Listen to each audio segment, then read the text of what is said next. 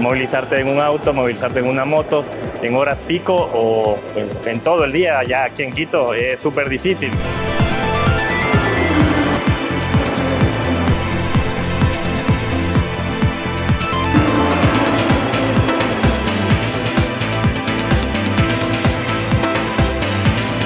Cuando tenga distancias súper largas, por ejemplo, cruzar la ciudad de norte a sur, de Quitumbia a la pradera, pues sí me va a ayudar.